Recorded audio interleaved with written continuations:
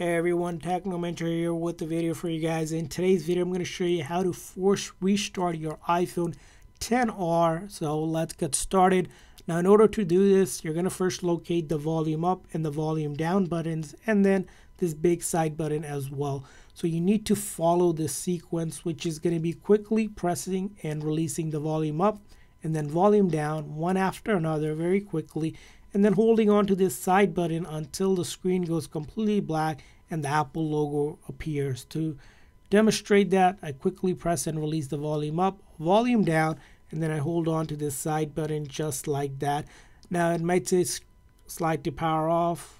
Don't touch the screen, just leave it as is. Just keep on holding that side button until the screen goes completely black and once you see the Apple logo reappear, you let go of that side button.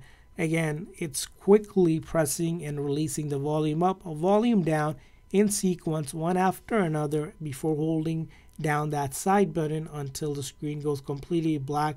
This method is safe. It will not delete any of your data.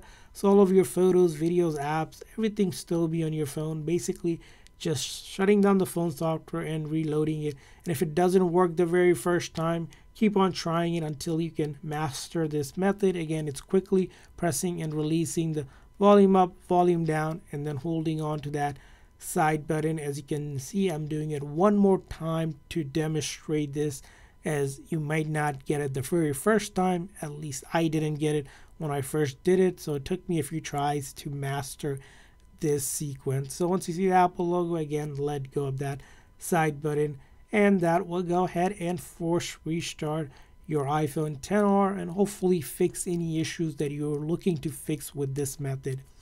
And I hope this video is helpful, so please consider hitting that like and subscribe button for more tips and tricks for your iPhone. We'll see you guys next time.